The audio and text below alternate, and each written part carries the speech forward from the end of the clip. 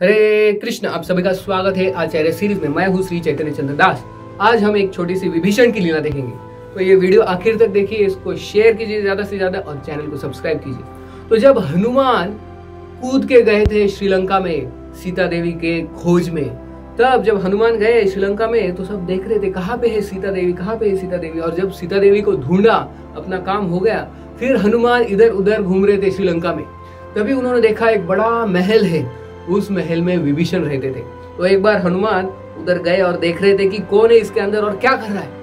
तो विभीषण जो है, बहुत बड़े भक्त है प्रभु रामचंद्र के और प्रभु रामचंद्र का नाम लेते थे, राम राम राम राम। और उनके महल में हनुमान ने देखा कि सब जगह पे उन्होंने राम राम राम राम राम राम राम राम राम का नाम लिखा है। और प्रभु रामचंद्र का हमेशा नाम जप करते थे विभीषण, क्योंकि प्रभु रामचंद्र के वो बड़े भक्त है।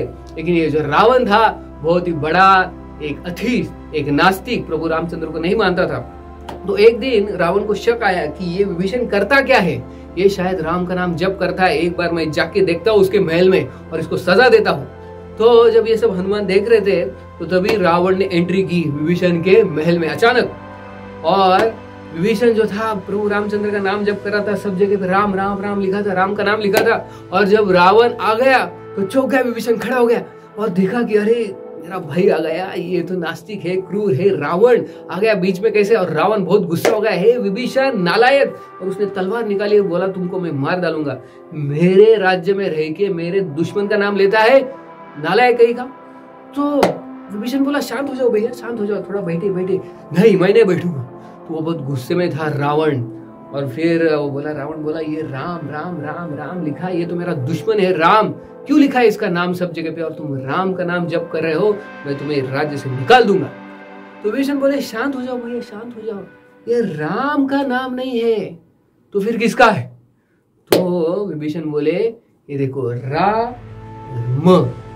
रा जो है, ये रावण, और म जो है, मंडोदरी। राम, रावण का रा और मंडोदरी का म, राम राम। ऐसे मैं तुम्हारा ही नाम जब कर रहा हूँ, रावण मंडोदरी रावण मंडोदरी। ओ, रावण तो बहुत खुश हो जाता है। अरे वाह, मुझे तो लगा कि तुम वो राम का नालायक का नाम जब कर रहे हो।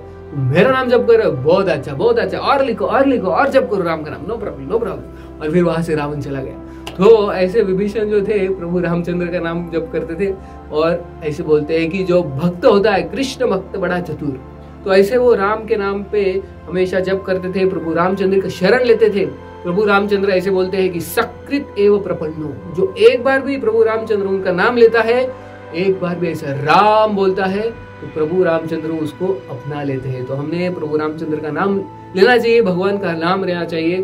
तो ऐसे कहते भागवतम के में सततम कीर्तयंतो माम यतंतश्च दृढ़वता नमस्यंतश्च माम भक्त्या नित्य उक्त उपास ऐसे भगवद गीता में कहा कि जो प्रभु रामचंद्र और कृष्ण का नाम लेता है, भगवान का नाम लेता है, सतत लेता है, वो भगवान के धाम ज़रूर ज़रूर जाता है।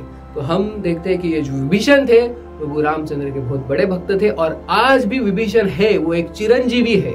आज भी रहते हम सोचेंगे, कहाँ पे है, कहाँ पे है? बहुत बार जगन्नाथपुरी में कुछ लोगों ने आज विभीषण को, आज भी देखते हैं, एक विशाल का ऐसा एक बड़ा व्यक्ति समंदर से आता है और फिर से छोटा सा रूप लेता है और जगन्नाथ जी का दर्शन लेके चला जाता है। तो बहुत सारे लोगों ने देखा है, ऐसे समंदर से ऐसा बड़ा और विशाल का राक्षस आता है।